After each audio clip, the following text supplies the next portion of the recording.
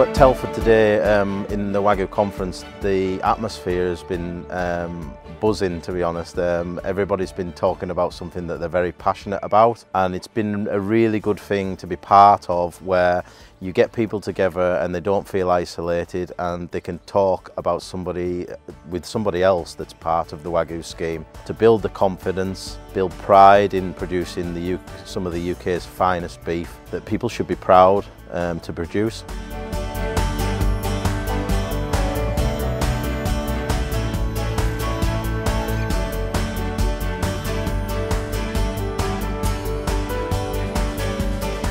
I'm one of the beef geneticists for Genus ABS.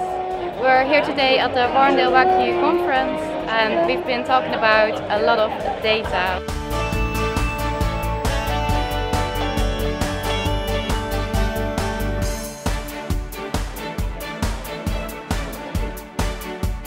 Today we've heard um, from speakers from Warrendale Wagyu, our business, but also from the British Wagyu Association, from customers such as Aldi who are buying a lot of British Wagyu, from Genus Genetics, so they're doing a lot of work in terms of improvement of the breed and, uh, and the genetic analysis work.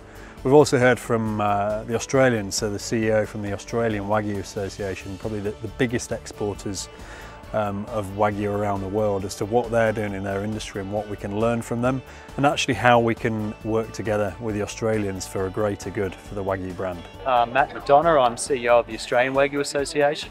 So what we're doing here today is we're here for the Warrendale Wagyu British Wagyu Association conference. Uh, we work very closely, we're a global industry in Wagyu. There are about genetics from 200 Wagyu animals exported from Japan in the 1990s and and really the Australian industry has amplified those genetics up significantly. The Warrendale Wagyu model, you can collaborate with lots of different people throughout the whole supply chain and you get lots of other ideas um, from meeting other people. So it's great that they put on today's event so you can meet lots of like-minded people who are passionately trying to make a difference to their business by working with the Wagyu brand. Warrendale guys are really the first uh, vertically integrated supply chain for Wagyu in the UK. Um, they're very interested in understanding know, which are the right genetics to use and, and how to go about producing Wagyu. It's great to get farmers talking to farmers, to customers, um, to genetics companies and we're going to have a great dinner tonight and uh, we hope to get people, more and more people to these events in the future.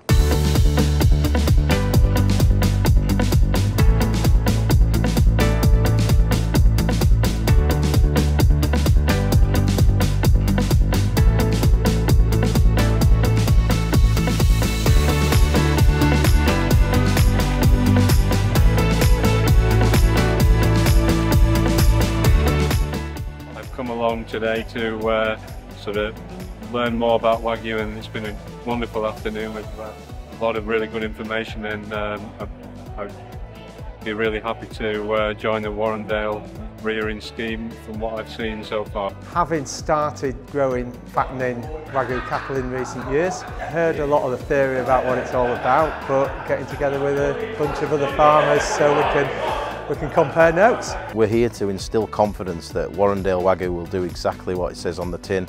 It's a fantastic um, offering to give people new starts into, into agriculture.